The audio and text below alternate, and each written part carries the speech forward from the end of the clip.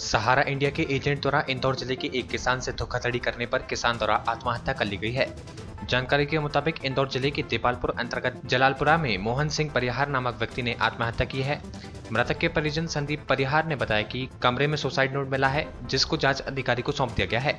जानकारी दी गई कि सहारा इंडिया के एक एजेंट ने मृतक मोहन सिंह परिहार से धोखाधड़ी कर लाखों रुपए ऐट लिए थे जिससे परेशान होकर मोहन सिंह परिहार ने आत्महत्या की है। तो सुसाइड नोट वगैरह मिले हैं और शेखर सहारा सहारा इंडिया करके था एजेंट था कोई।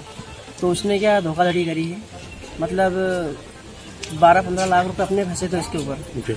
तो उसने और बोला कि मैं तेरे को प्लाट दिला दूँगा कुछ दिला के और तीस बत्तीस लाख रुपए और उससे एट लिए। उनका लिखा है सर और बाकी डॉक्यूमेंट से दिए हमने। मिला है। क्या मिला? सुसाइड नोट है। अच्छा। दूसरी ओर देपालपुर एसडीओपी राम कुमार राय ने बताया कि परिजनों द्वारा दस्तावेज़ सौंपे गए हैं जिसकी जाँच कराई जा रही है और जाँच के आधार पर कार्रवाई की जाएगी। देपालपुर से संदीप सैन की रिपोर्ट। वो सुसाइड नोट है या नहीं है अभी तो यही कंफर्म नहीं है। कुछ दस्तावेज़ मिले हैं अलमारी में से परिजनों को। और जिनका परीक्षण कराया जा रहा है जी।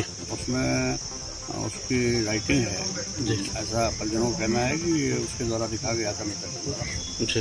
वो परीक्षण के हिसाब से जो भी परीक्षण करा करके जो भी विधि सम्मत कार्रवाई होगी उसमें किया जाएगा